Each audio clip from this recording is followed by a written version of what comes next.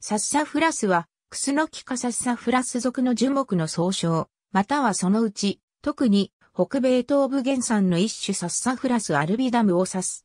方向があり、香料原料として用いられる。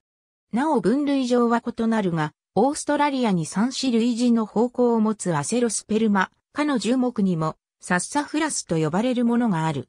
私有一種の落葉性高木。葉は一般に先が3列するが、同じ木でも裂けない卵型、または2列のことも多く、4から5列のこともある。花は小型の五弁毛で春に咲く。果実は液化で青黒く熟す。木全体に柑橘様の方向がある。特に根から精油、サッサフラス油が抽出され、香料として用いられる。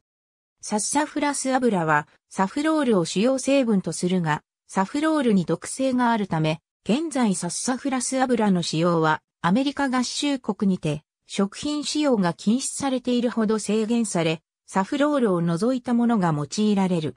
またクスノキ等から得られる代替品が多く用いられる。